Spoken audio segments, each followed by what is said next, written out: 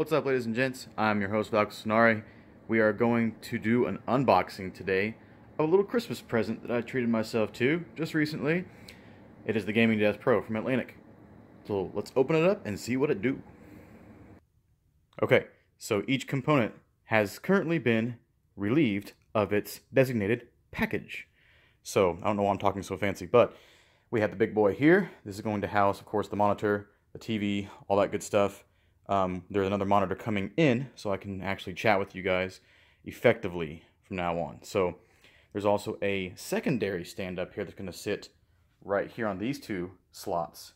That way I can sit the monitor higher if I so desire, which I probably will. In any case, we have plenty of stands here. There is a cup holder stand here. Where is it? There you are. Dude. Dude. Enough said.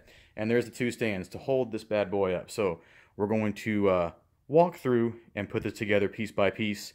And hopefully I don't fuck up.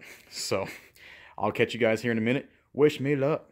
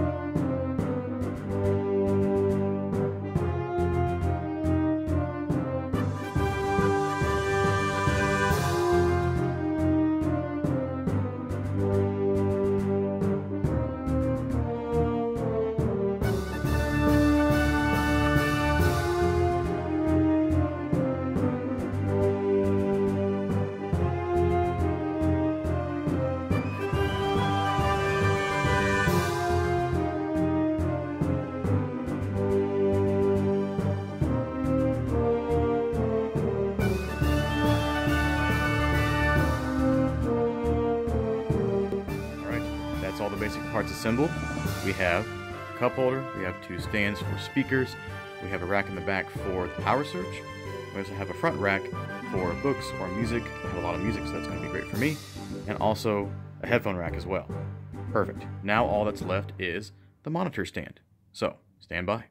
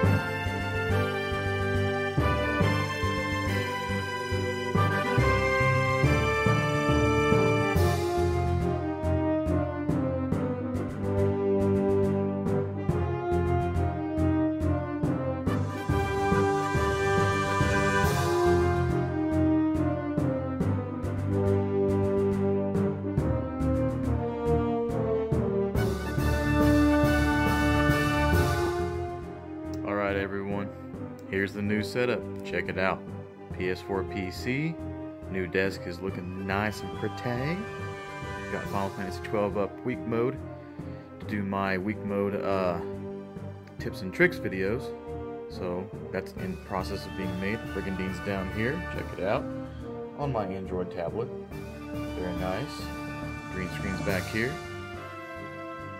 perfect setup, man. I really like this. It turned out really well. Very happy with it. So let me know your guys' thoughts on the new desk, the new setup. Let me know what you think, and I will catch you in the next unboxing episode if you enjoy these types of things. So if you do enjoy it, please let me know, and I will make some more as I get new products for the stream. So this has been your host, Valkos Lunari. I will catch you guys later. Peace and stay heavy.